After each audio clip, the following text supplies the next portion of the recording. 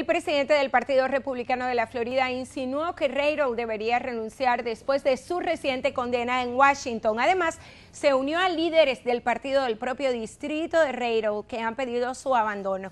Enrique Padrón, analista político, nos da su punto de vista al respecto. Enrique, ¿cómo estás? Bien, Mayela, muchas gracias por la invitación. Enrique, la delegación para la Florida del Partido Republicano instó al representante Trey Rayroll a que renuncie a su cargo después de haber sido hallado culpable por posesión de cocaína. ¿Qué tienes tú que decirnos al respecto y eh, qué está pasando en el Partido Republicano que definitivamente cada día se debilita más con este tipo de situaciones?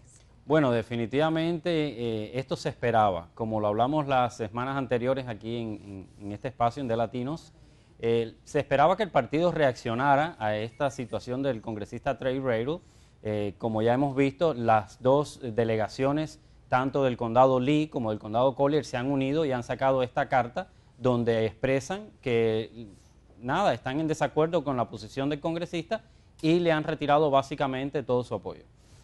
¿Consideras tú que, aunque los seres humanos tenemos una segunda oportunidad, él en este momento debería renunciar finalmente y concentrar su atención en su rehabilitación y la de su familia? Yo creo que sí, yo creo que sí. Yo soy muy tajante con estas situaciones de uso de drogas y estupefacientes en cargos públicos. Yo no creo que un representante eh, público, sobre todo en el Congreso de los Estados Unidos, debería regresar al cargo después de que se le haya pues eh, sorprendido comprando este tipo de, de, drogas, ¿no? Es decir, que definitivamente a, este punto que ha habido tanta controversia, pero que todos ah, los líderes, eh, especialmente del Partido Republicano, un partido que tú siempre apoyas, entonces eh, están de acuerdo en que debe salir.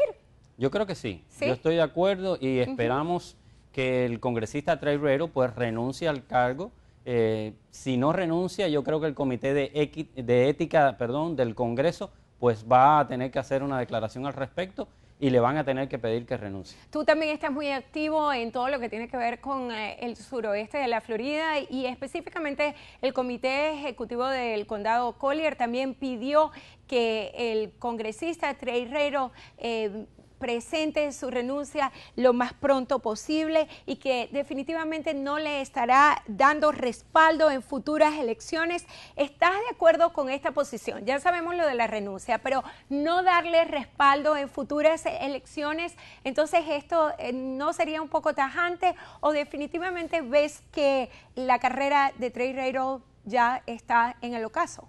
Yo creo que su carrera ha terminado políticamente, sobre todo en, este, en el suroeste de la Florida, donde hay un, diría yo, un conservadurismo eh, que no permitiría en una nueva elección que Trey Rayro saliera como congresista electo nuevamente. Estoy de acuerdo en que el partido le haya pedido su renuncia.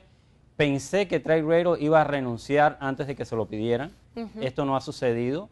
Eh, esperemos a ver qué sucede durante esta semana, si el congresista pues él mismo pues pide su renuncia, ofrece su renuncia antes de que el Partido Republicano Nacional se la exija. ¿Qué opinas de, cambiando un poquito de tema, y, es que ahora te tengo aquí eh, en, el departamento de, noticias y no quiero dejarte ir sin preguntarte, ¿qué está sucediendo con los valores éticos que se están manejando dentro del Partido Republicano? Porque vemos que muchas cosas están sucediendo y cada día más los hispanos se sienten un poco menos confiados eh, de este partido, especialmente cuando hay una corriente conservadora como lo es también el Tea. Bueno, mira, en realidad, Mayela, estas cosas se han visto en ambos partidos, no solamente en el Partido Republicano. Hemos visto fotos del presidente Barack Obama fumando marihuana, el presidente Clinton admitió también que fumó marihuana en su juventud. O sea, se han visto este tipo de hechos en ambos partidos. No creo que eso solamente de un partido. Es condenable en cualquiera de los partidos que suceda ningún servidor público debería entrar en este tipo de, situaciones porque eso daña la moral de la sociedad y yo creo que perjudica mucho la credibilidad del gobierno nacional. Muchísimas gracias por siempre estar con nosotros. Gracias a ti por la invitación. Y esta entrevista estará disponible a través de nuestro sitio en la red, así que los invitamos ahora mismo a que visiten delatinos.com para que se informen de estas y todo lo que está sucediendo en el mundo. Quédense con nosotros, que aún hay más.